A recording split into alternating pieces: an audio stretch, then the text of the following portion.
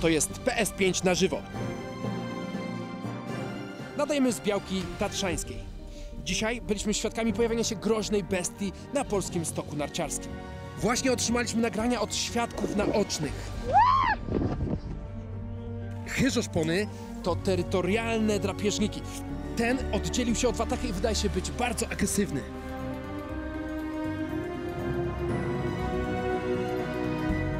Co Państwo właśnie widzą, to seria śladów tego zwierzęcia prowadząca w dół stoku.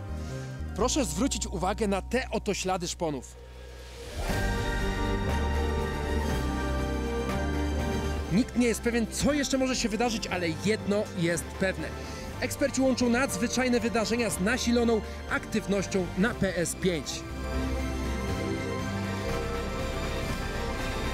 Oto PS5 na żywo. プレイステーション